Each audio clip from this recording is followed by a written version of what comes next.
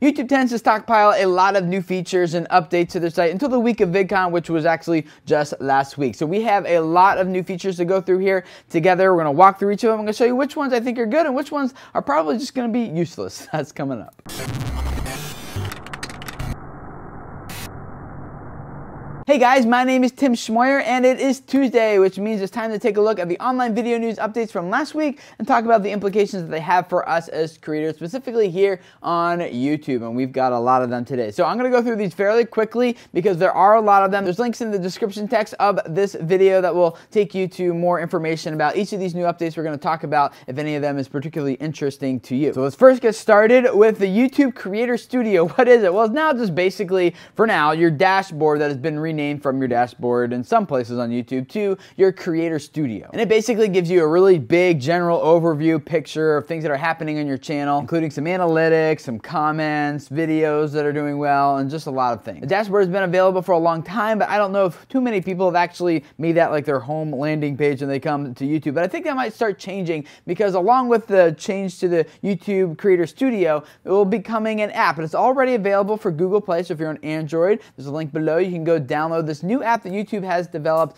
for creators. It has a lot of these same features that you're seeing on the dashboard of the Creator Studio. It'll let you see your analytics, manage some comments, and maybe update the metadata of your videos and things like that. If you are an iOS like I am, then we'll have to wait a couple more weeks until that app has been approved and is ready for us to consume. If you are used to clicking up on your picture in the upper right hand corner and getting to your video manager, your channel, all those links that used to be available there, those are now gone and there's a link in the description below that'll walk you through everything has changed just with that one menu. Also, YouTube added some sound effects to their audio library, so if you would like some zombie screams or airplane flying stuff or whatever kind of sound effects you would like, those are free completely for you to use. And if you are a gamer or you're just publishing really high quality cinematic videos here on YouTube, then you will be happy to know that YouTube is soon to support 48 frames per second and 60 frames per second, which should make your videos and your gameplay look way smoother. If you want to see an example example of what 60 frames per second looks like, there's a link in the description below, along with lots of other things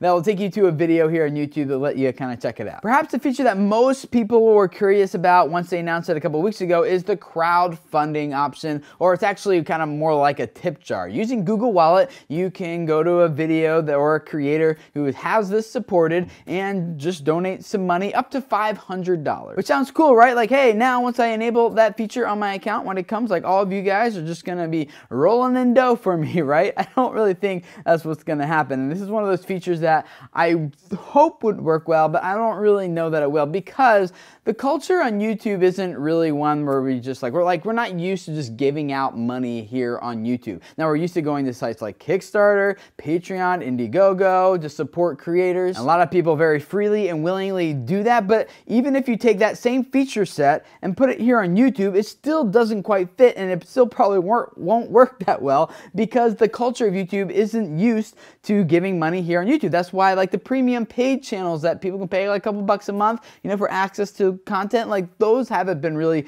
taking off as well as anyone would like, or at least not as well as the creators would like. And so I think the same thing's gonna happen with this. The other thing is that it's using Google Wallet. That's the only way someone can contribute funds, and I, not every user has a Google Wallet account set up. So if someone does wanna give you money, they have to be like really motivated to do so. And the other thing is like the features for donating money, like I was kind of hoping it would be like a button beneath the video, like a tip jar type of, type of thing where you could direct your users to go click, but instead it's just like a little annotation, which does work on on mobile, so that's nice. And, or you can go to someone's YouTube channel and find it there in the sidebar. But both places, like they are really hard to find. Like I was going to some channels that I knew had them enabled, and I was intentionally looking for the donate button, and I couldn't find it. I actually had to reach out to a friend of mine who does have it enabled on their channel, and they had to direct me exactly where to find it. So long story short, it'll be interesting to see how long that stays around. I'd love to hear from you guys in the comments below about what you think about the whole crowdfunding thing here on YouTube, the little tip jar donation donate button, whatever you, want to call it. Do you think it'll work? Do you think it won't work? Do you think creators will embrace it, but fans won't? And do you plan on enabling it on your channel when it becomes more widely available? Also, another feature that will be rolling out sometime in the near future that I'm actually looking forward to is called creator credits. And basically, this lets you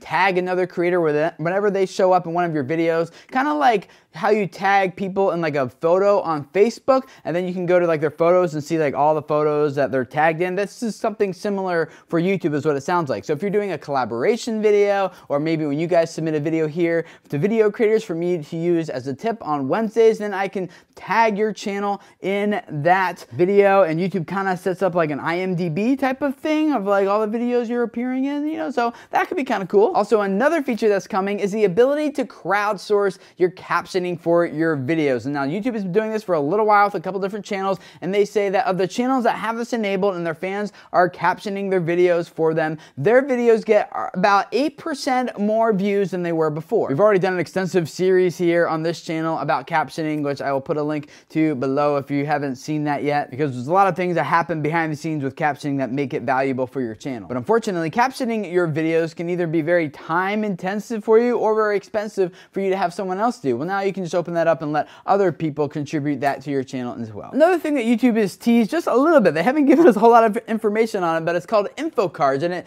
sounds to me like it's going to replace annotations, which are clumsy and ugly, and they don't really work across most devices. So YouTube says there's a new interactive feature that's coming up called info cards that will work across all platforms, all devices, and give you a much cleaner, slicker interface and look on your videos. So we'll definitely be talking more about that as it comes up. Another little feature, I don't really know if it's actually a feature, but YouTube is talking about it, is now they have a show, it's called YouTube 15 on Sirius XM, which is satellite radio if you're not familiar. It's hosted by Jenna Marbles. Basically, they're covering like the top 15 new and upcoming music artists and channels on YouTube. I understand what they're trying to do here and trying to get more exposure for creators. And as long as like a YouTube community and audience that's listening to the show might be okay. But from everyone that I've known and I kind of even experienced myself like if you have a video gets like super popular goes viral you show up on television like television audiences don't really translate at all to YouTube uh, like audiences. If you get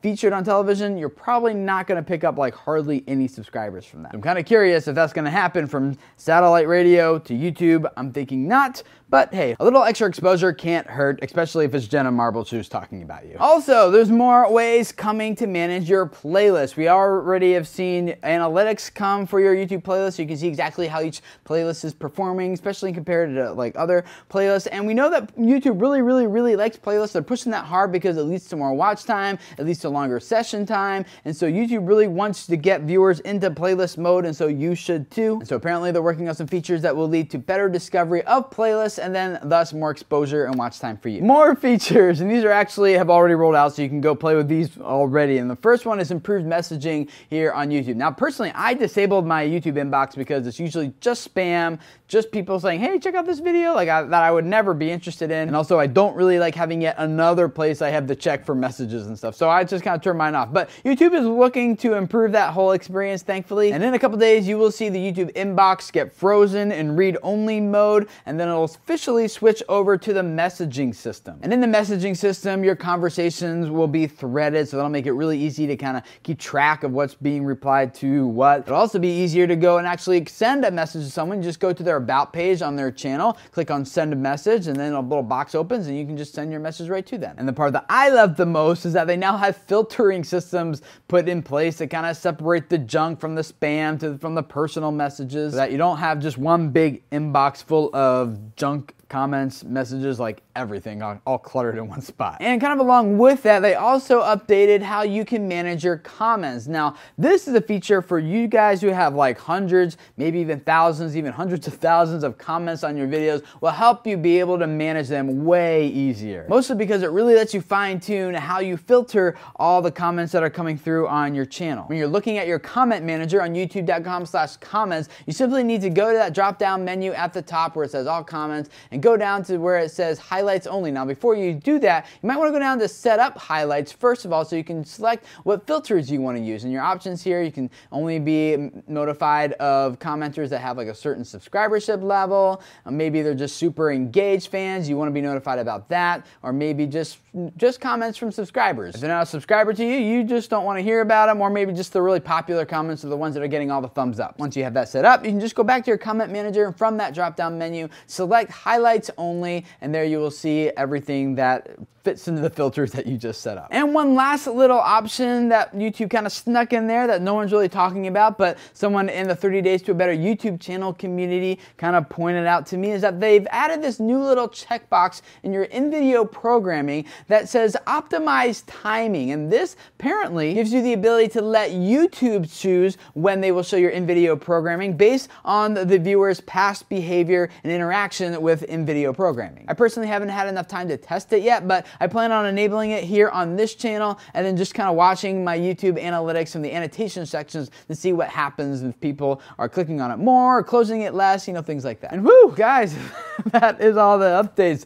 I would love to hear from you guys in the comments below. Which one uh, is your favorite and what do you think, especially about that money one? It's the one I'm most interested in. So leave your comments down there about that one. And if this is your first time here, I'd love to have you subscribe. Every Tuesday, we take a look at the online video news from last week and talk about the implications it has for us as creators. Tomorrow Wednesdays to give you guys some YouTube tips, ideas, suggestions, advice. And on Thursdays to do some YouTube Q&A with you guys to answer a question that one of you guys is working through with your channel. And I do all this because I really believe that a lot of you guys have messages that could really influence people's lives and help them if the people who need to hear what you have to say could just find you and hear what you have to say. So thank you for letting me be a part of helping you guys grow your audiences and your YouTube channels. Subscribe and I will see you guys again tomorrow.